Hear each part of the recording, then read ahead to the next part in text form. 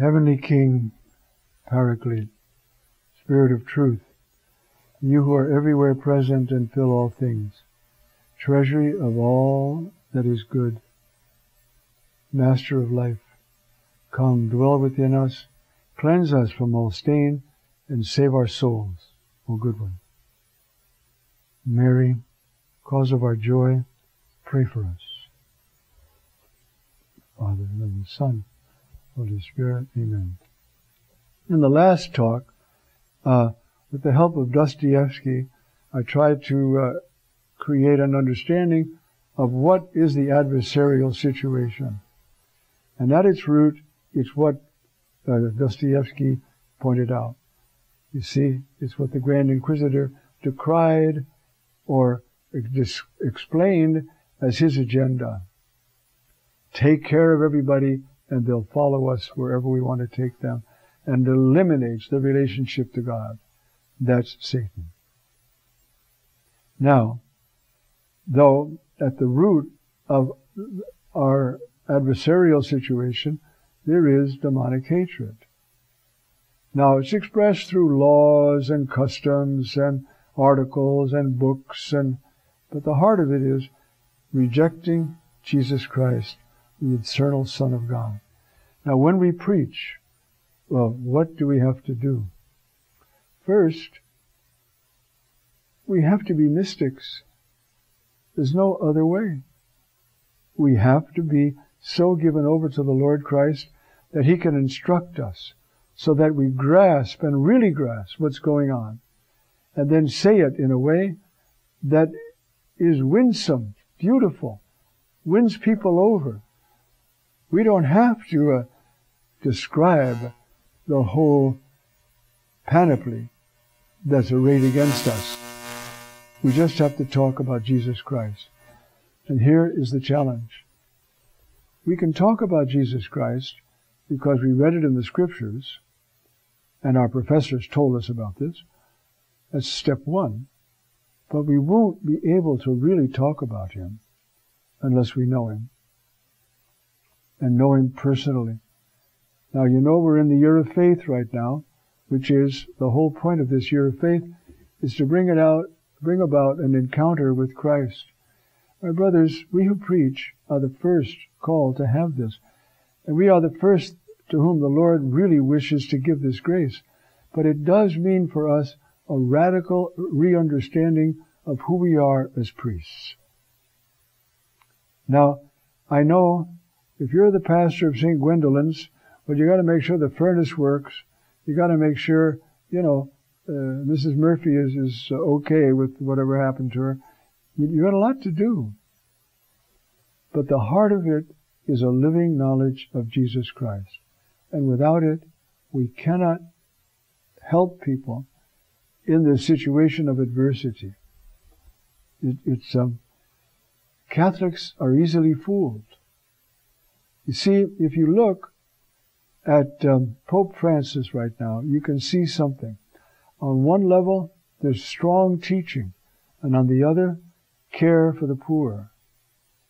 We have to take on our Lord's care for the poor. And I don't mean another huge um, setup. We have enough of those. They're very efficient, and many people get paid nice salaries for running them. That's not what I'm talking about. I'm talking about simple, direct, personal care of the poor. Uh, that is one of the basic ways that we preach in adversity, because the the, uh, the adversarial stance is that we, the Marxists or whatever brand they are, are the only ones who care about the poor, and we're going to construct a system whereby they're all taken care of and they all look to us and we'll take care of them. That's the drive of the world government. That's not the way Jesus took care of the poor. He took care of the poor out of the depth of his own heart. He fed them in the desert. He uh, healed them. People touched him and were healed.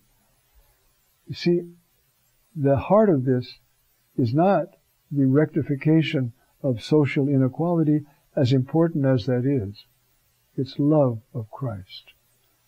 Um, I don't know why the man slips my mind right now his name. It'll come when I don't need it. Um, but he said, you see, uh, the world is made up of oppressor and oppressed. In every revolution, the oppressors become uh, the oppressed, and the oppressed become the oppressors. But at root, nothing changes. It's only in the gospel, lived out, that there's real change. And that's our goal. You see? So, we don't have to give necessarily uh, a teaching on social justice, so they're very important. We have to let people know how much Jesus Christ loves them and who He really is and what He expects of them. Prayer, love in their family, detachment from wealth, you know, uh, living a life that's uh, in keeping with the gospel, in simplicity, in joy. When that happens, it, it, it's a new world. And that, you see, uh, is the antidote to the world government. Because it's not world government telling me what to do, it's the Holy Spirit telling me what to do. And enabling me to do it. Now, how do we preach that? You know, I must say I have pondered this so much, trying to explain, as far as I can, uh, what we do when we preach in adversity. We overcome adversity with the light of truth. And the truth has light if it's preached with love and from experience. I can't pick up de or Aquinas or anybody else and just quote him. I have to be credible. And that's hard because I'm not credible. I'm a sinner. I have to rely on the grace given to me. You know, uh, one of the documents of the church says the first duty of the priest is to preach. First duty. Because he's the assistant to the bishop, and that's the bishop's first duty. And so we have to pray. We have to uh, enter into such a relationship with our Lord Jesus Christ that He can bring us into transforming union. That is what's required. Now, nothing else is going to do the job. We can sort of maintain for a while, but if people get uh, convinced that only the government can take care of us, we're in a Marxist state. We're in the state created by the Grand Inquisitor. How do we overcome that? A credible preaching of the love of God. And how can it be credible? We have to know Him. This whole year of faith that we're in, you know, what is it supposed to result in? An encounter with Christ. We can't really encounter Christ without loving Him. If we encounter Him, we will love Him. We will see our sins forgiven. We will see the compassion in His eyes. We will know Him. And then we have something to say. And that will depend on where you are and what you want to preach about. There are so many issues that you want to warn your people about, but you're not a warner. You know, you're a Christ. You have to listen to the way He does it and the way He wants to do it in us. And therefore, it means that the first duty of a preach, of a priest is to pray. Seriously pray. At least an hour a day. Well, what about the furnace and Mrs. Murphy's problems? And I promise you, they'll be taken care of. But if we omit prayer, nothing we do will have any effect on this movement of adversity which is no joke. And in this country, uh, we could run into real problems um, and become less effective, less credible, less. And if it's our wealth that's an obstacle, get rid of it. More important, I don't, you know, we don't have to sell all our universities and all the rest, but the heart of it, as Pope Francis is doing so well, He constantly reminds us because he sees what I've been trying to say here much more clearly than I do. He sees that unless the church is caring for the poor, atheism will care for the poor and lead them astray and uh, ruin their life in this world and maybe for some even in the next. So while the church has to preach the truth, has to announce the gospel, has to elaborate good teaching, it also has to care for the least, the humblest, the poorest, the sickest. We have to go look for them and show them the compassion of Christ. And as we do that, we touch Christ. Just ask anybody who's done that work. Ask some of the sisters of Mother Teresa. Ask anybody who's, who's you see, what you did for the least of these, brethren, you did for me. That's Christ. St. Augustine has this uh, homily in which he says, Yes, I am in heaven. I am glorious. My body is radiant with light, but I still suffer hunger. I still suffer neglect. I still suffer from cold. In the world, I still suffer that. Come to my aid. Now that is not another program.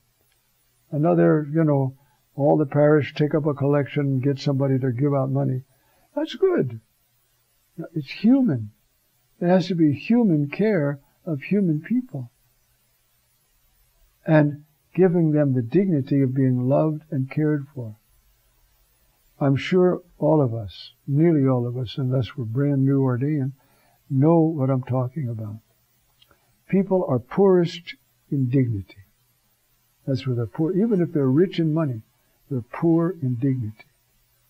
And the poor have that lack of financial ability to distract themselves, which keeps them in the bondage of this sense of inadequacy, unable to take care of their family. And that's a bondage. That bondage is not broken by money, but by love and a genuine human relationship. And that's uh, why, for instance, uh, those people who do care for them. Look at Mother Teresa's sisters. Uh, you see, it's direct care in the love of Christ. That is how we have to preach in adversity. I don't mean there's only action. There has to be word. There has to be preaching. So many of our people uh, are middle class. They're in terrible bondage to fear and to uh, fear of losing their money. And we have to help them. We have to help them come to know Jesus Christ Himself. This whole year of faith is supposed to result in baptism in the Holy Spirit, which the Pope calls encounter with Christ. That's what it's all about. To know Jesus Christ is to be free and to be consoled and sure, and then to be liberated, whether you're rich or poor, and know how to relate with one another. That's what it's all about. And so, the, we're going to go on to develop this more, but the basic thing is preaching in adversity has to come from a heart that knows Jesus Christ personally and loves Him. Amen.